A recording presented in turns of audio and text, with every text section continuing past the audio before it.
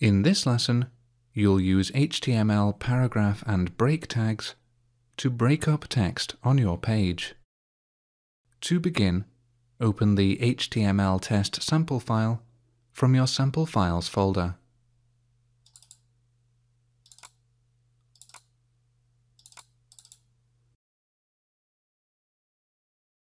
and open default.aspx in Source View.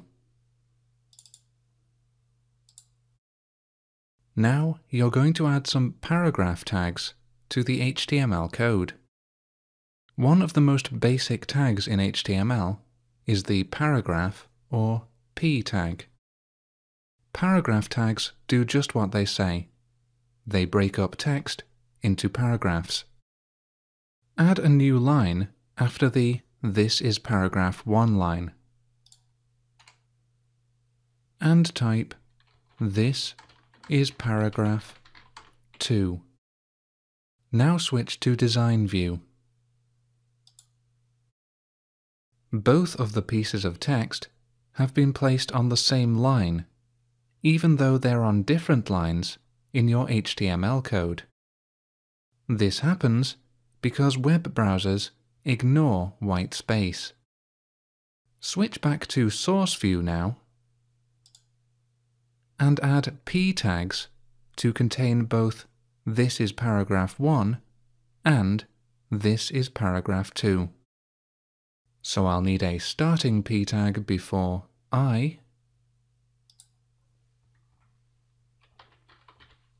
and an ending p tag after end i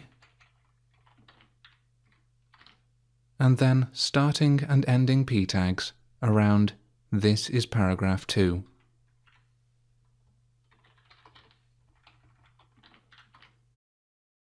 Now switch back to Design View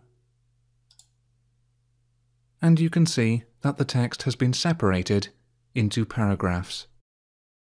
Although paragraph tags are useful for breaking text into paragraphs, sometimes you will want to put line breaks inside paragraphs without starting a new paragraph. For this, you'll need to use the break or BR tag. Switch back to Source View, add a new line after the two paragraphs,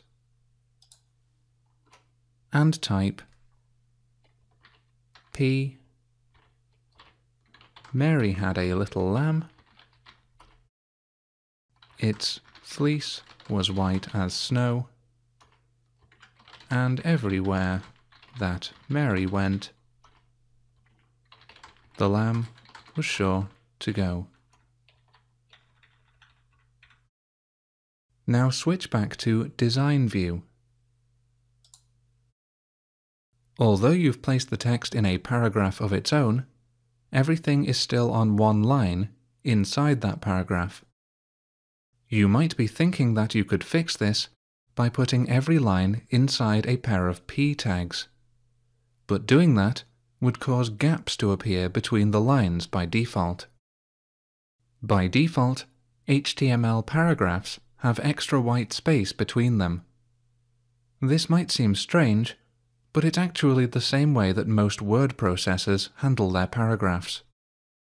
Later, in Lesson 2.9, you'll discover how to use CSS to define styles. CSS styles allow you to customize exactly how much white space appears between paragraphs.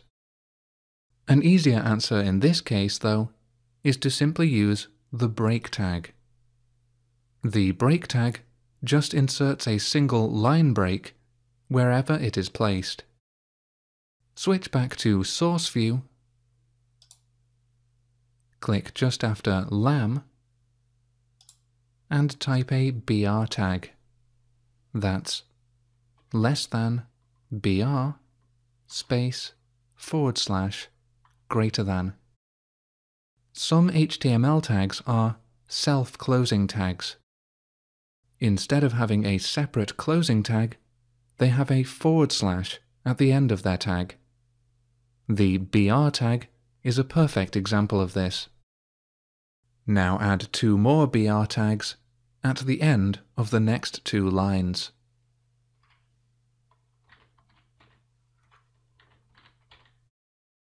Finally, start debugging.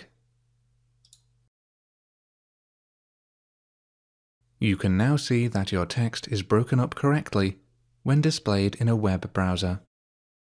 Close your web browser now and close Visual Studio. You've now completed Lesson two 2.2 Understand HTML Paragraph and Break Tags.